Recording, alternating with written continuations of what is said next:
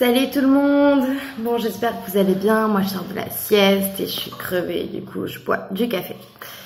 Alors, euh, juste un petit point, là euh, c'est un peu le bazar mes vidéos, il y en a deux qui ont été supprimées, une que j'ai remise sans mettre de nom dessus, euh, parce que j'essaye de les couper, enfin j'essaye en fait d'apprendre à faire des vidéos dignes de ce nom. Mais j'avais trop hâte de me lancer, du coup je lance quand même des vidéos. Merci pour tous ceux qui me donnent des conseils et qui doivent bien rigoler derrière leur écran. Ah. Donc, euh, je vais mettre ça en place et en plus j'ai un copain qui va m'amener, comme je l'ai dit dans une autre vidéo, du matos pour faire du bon enregistrement et ça c'est cool parce qu'il est ingénieur et il va m'apprendre à faire des trucs sympas et ça c'est chouette. Bon, alors là tout de suite je vais vous parler enfin euh, de ma maladie en elle-même. Euh, alors, la prochaine fois, je parlerai la différence entre euh, la maladie et le trouble.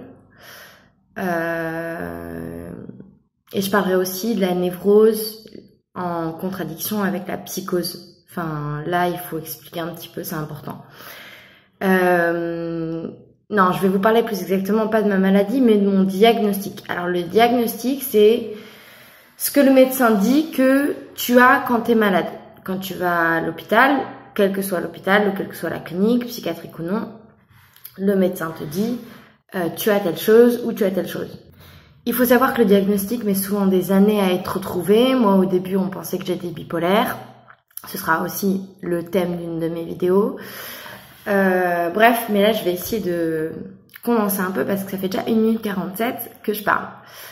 Donc, mon diagnostic, c'est-à-dire ce que je suis Attention aux étiquettes, ce sera aussi le thème d'une de mes prochaines vidéos. Si tu te sens trop dans une étiquette parce que ton diagnostic c'est genre schizophrène et que t'as l'impression que t'es que ça ou ou euh, je sais pas diabétique et t'as l'impression que c'est que ça parce qu'il n'y a pas que les maladies psy qui donnent des diagnostics et bah en fait non, on n'est pas juste notre étiquette. Ce sera un autre sujet. Je noterai tout ça, vous inquiétez pas. Je suis quand même assez méthodique même si ça part un peu dans tous les sens parfois. Donc mon diagnostic pour l'instant c'est cyclotimique. Alors c'est un gros mot parce que c'est quelque chose de très à la mode. C'est un trouble de l'humeur euh, qui se rapproche euh, de la bipolarité. Donc c'est-à-dire que les gens dans la vie, ils ont une humeur qui fait plutôt ça.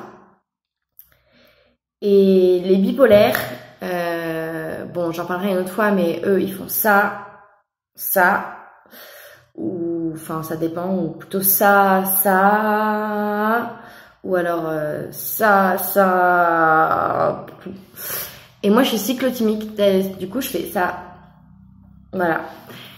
Et voilà, donc ça veut dire que au quotidien, euh, je peux passer en une demi-heure, parfois en une heure, euh, du rire aux larmes, mais quand je dis du rire aux larmes, c'est-à-dire de la dépression profonde, moi je dis tout le temps que c'est comme si je ressens, comme si euh, quelqu'un normal ressentait que son meilleur ami venait de mourir par exemple.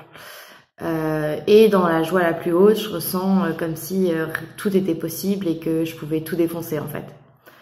Voilà, c'est assez compliqué à comprendre parce que en fait c'est une partie de moi et en même temps c'est mon cerveau qui me joue des tours et qui envoie des mauvaises informations. Ça j'expliquerai au fur et à mesure. Euh, en gros, euh, j'ai pas toutes les capacités optimales dans ma vie parce que sinon j'arriverais à contrôler mes émotions. Mais du coup, il suffit qu'il y ait un pétage de câble, je sais pas, que je regarde un film triste ou qu'il y ait une mauvaise nouvelle ou n'importe quoi et direct, boum, je vais descendre. Ou direct une bonne nouvelle, boum, je vais monter. Mais du coup, ça s'harmonise pas assez. Du coup, c'est fatigant pour moi, très fatigant, et c'est surtout très fatigant pour les autres. je pense qu'il y en a qui le savent ici. Voilà, et pour clore un peu, ce que je ressens, c'est des émotions à 1000%. C'est moi ce que je peux dire. Des émotions à 1000%. Mon nom de scène, parce que voilà, vous apprenez un truc sur moi, dans la vie je suis, et je voudrais redevenir, vu que depuis que je suis malade, j'ai arrêté de travailler, comédienne, comédienne chanteuse. Euh, je cherche un peu ma voix euh, dans le niveau de l'art.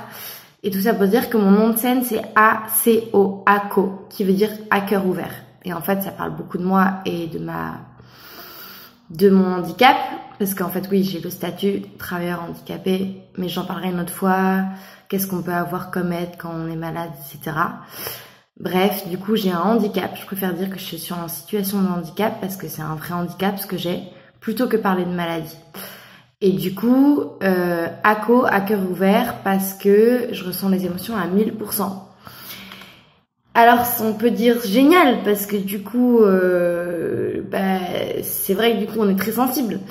Mais par contre, euh, vraiment naze quand on est déprimé au fond du trou, juste parce que, euh, je sais pas, euh, parce qu'un ami, par exemple, vient de nous montrer une vidéo triste et ça peut nous mettre mal pendant deux heures, mais vraiment mal. C'est très étrange. Et moi, ça s'est déclaré euh, il y a trois ans. Donc je vous expliquerai comment ça s'est déclaré, pourquoi ça s'est déclaré la prochaine fois. Euh, J'avais dit que je parlerais aussi de l'acceptation de la maladie, mais là, je vais parler juste de ça. J'espère que vous allez kiffer, continuer à m'envoyer des, même des idées de ce que je peux faire pour améliorer les vidéos juste avec mon matériel que j'ai, c'est-à-dire un téléphone parce que avec mon ordi, vous avez vu ce que ça donne. Euh, si c'est mieux que je rajoute des musiques derrière et comment je fais pour euh, rajouter euh, une image, celle sur laquelle vous cliquez pour voir la vidéo, qui soit autre qu'une image que je choisis pas en fait et que je puisse faire i, a, e, enfin un truc cool quoi. Voilà, en même temps j'apprends à être geek, c'est vraiment génial. Et sinon, euh, pour ma troisième journée de split, il fait beau. Pour mes amis, euh, vous me manquez, surtout mes amis de Tours et de Paris.